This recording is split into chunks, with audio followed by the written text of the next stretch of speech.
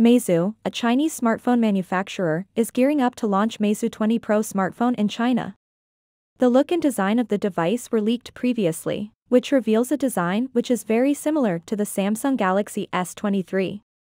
It has got a straight flexible display which looks really great on the device. The smartphone will feature the latest Qualcomm Snapdragon 8 Plus Gen 1 chipset. This is the latest flagship chipset and it makes Meizu 20 Pro to be one of the most powerful smartphones to exist to date. The teaser further confirms that the smartphone will feature a flexible straight OLED panel.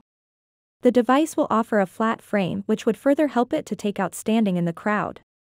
Additionally, the OneMind 888 Plus intelligent thinking engine has been upgraded to OneMind 10.0 which will create a computational power hub for the unbounded Internet of Things. The unbounded logo in the poster's upper right corner alludes to fresh possibilities.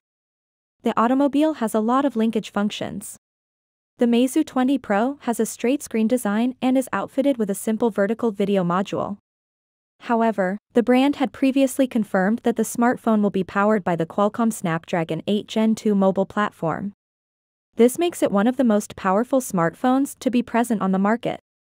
As for the software, the Meizu 20 Pro is expected to run on Android 13 with Meizu's Flyme UI on top. The device is also rumored to come with a host of new features, including an updated always-on display, improved app management, and enhanced security features.